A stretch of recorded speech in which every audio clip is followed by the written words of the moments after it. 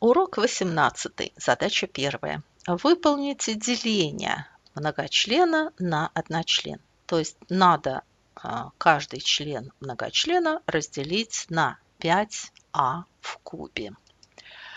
15а в четвертой, если разделить на 5а в кубе, получится 3а. Имеется в виду а в первой.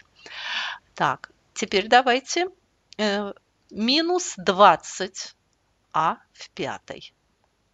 Э, разделим на 5а в кубе. Будет минус 4а квадрат. А затем при делении получится единица. Вот, деление выполнено. Задача вторая. Выполните деление. Тоже каждый э, член многочлена надо разделить на минус 8m в четвертой n.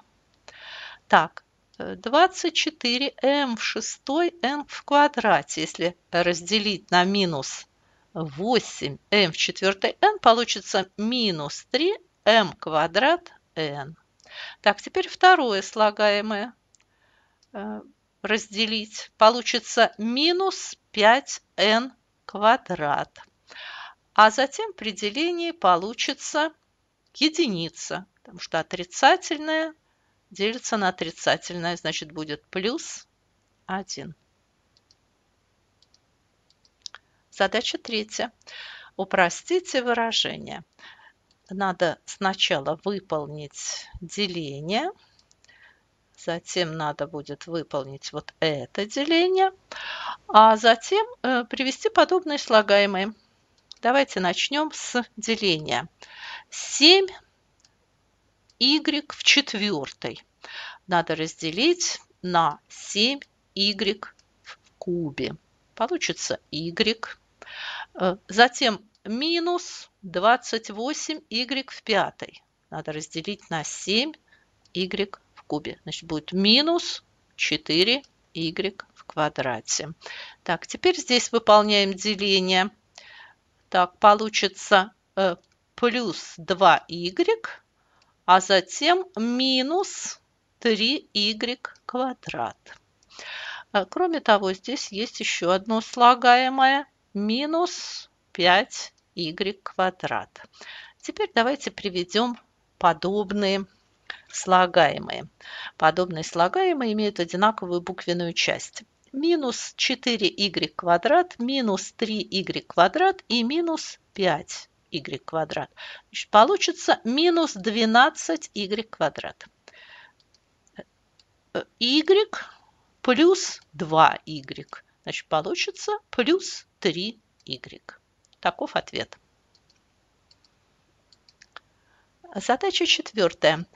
Сколько процентов от числа 300 составляет четвертая степень числа 3? Так, надо сравнить с числом 300. Значит, 300 принимаем за 100%. Четвертая степень числа 3, это 3 в четвертой, это 81. Значит, 81 это x процентов. Пропорция. Произведение крайних равно произведению средних. Значит, чтобы найти x, произведение вот 81 на 100% надо разделить на 300. И получим ответ в процентах. 27%. Задача пятая. При каком значении n верно данное равенства. 6 в пятой степени умножается на 6 в квадрате, возводится в n степень, и значение этого произведения равно 6 в 17. При возведении степени в степень показатели перемножаются. Значит, здесь будет 6 в степени 2n при умножении степеней с одинаковыми основаниями основание остается прежним, а показатели складываются. Так как и слева, и справа от знака равенства основание степени одно и то же – 6, основание можно отбросить и выполнить действие с показателями. Значит, здесь будет показатель 5. Затем складываются с 2n равняется 17. 2n это 12, значит n э, равно 6. Ответ 6.